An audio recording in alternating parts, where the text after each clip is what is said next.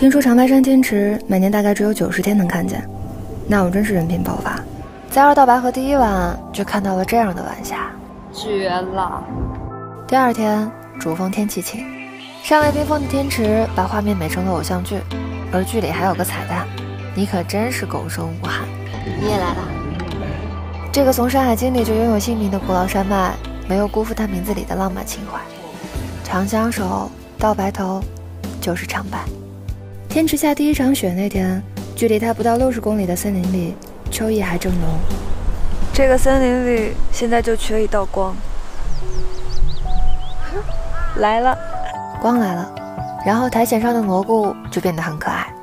顺着这条隐藏路线一路向前，有眼和古老的长白山一起轮回的自由冷泉。冰雪融水在火山玄武岩地下熔绿沉淀，经约三十到六十年才能一见。我现在明白为什么长白雪天然雪山矿泉水要把水源地放在这儿了。我盯着那个不停冒泡泡的泉水盯了很久，你说它是不是在引诱我？你快来尝我一口。它的味道像森林里下了第一场雪之后，你抓了一把酥软的雪花放进了嘴里。沿着大自然搬运工的水源地旅行，总是有惊喜。什么样的水源，就孕育什么样的生命。在长白山第一场落雪之后，我喝到了如同松软雪花的味道。